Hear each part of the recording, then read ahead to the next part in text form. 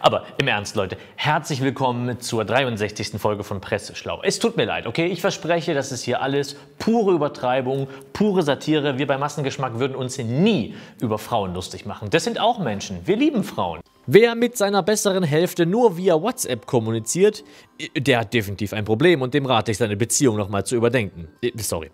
Der kann ihr ihm nun den gesamten Verlauf mit all den romantischen Texten und Fotos als gebundenes Buch schenken. Oh mein Gott, das ist auf so vielen Ebenen falsch. Da sitzt man dann wie die beiden auf dem Sofa, liest sich den Scheiß durch, den man dem anderen versprochen hat, nur weil man mit seinem oder ihren Geschlechtsorgan den ersten Kontakt machen wollte. Und für Männer ist das doch die Hölle. Frauen vergessen eh schon nichts und da soll man sich nur noch sowas zulegen, wo sie das immer ganz genau nachschlagen kann. Ideologie vernebelt den Blick auf die Realität. Was nicht sein darf, ist nicht. Asylbewerber, die wir als Flüchtlinge willkommen heißen, entpuppen sich als frauenverachtende Kriminelle. Oh ja. das ist die schlimmste Art von Kriminellen, die Frauenverachtenden. Davon aber abgesehen klingt es, als hätte er seine Kolumne aus dem gleichen Baukasten zusammengesetzt, aus dem auch das islamophobe Webportal Politically Incorrect seine Texte zusammensetzt.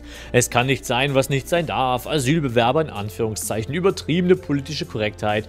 Dass diesen Leuten ihre eigenen Phrasen nicht mittlerweile selbst zum Hals raushängen, wundert mich doch sehr. Aber ich nehme an, als Schwuchtel ist es nicht weit her mit dem Würgereflex. Ist deine Person ein echter Mensch? Ja. Ist deine Person männlich? Ja, sehr sogar. Trägt deine Person eine Brille? Ja.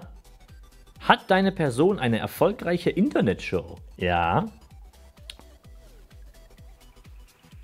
Wer zum Teufel ist Alexi Bexi?